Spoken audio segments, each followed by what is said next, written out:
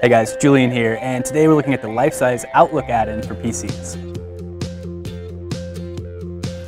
If you're like most Outlook users, you probably spend a good chunk of the day in your email client. Well, the Lifesize Outlook add-in makes it easy to schedule meetings and make video calls without messing up that workflow.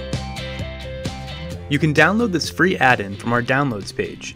Just follow the on-screen prompts to complete the install. When you open up Outlook, you'll see two new Lifesize icons for Schedule Meeting and Start Meeting.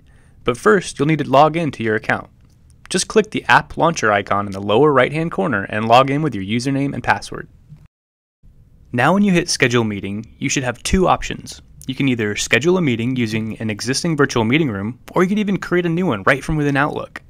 Once you've selected a room, you can add a custom message, and then just click Next to create a calendar invite. If you've seen our video on scheduling a call within the LifeSize app, this should look familiar.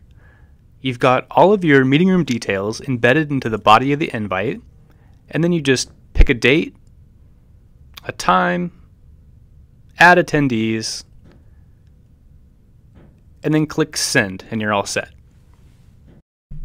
And if you want to just call someone in your LifeSize directory, you can hit Start Meeting to open up the LifeSize app, where you're able to search through the directory check your camera and audio inputs, and make a call.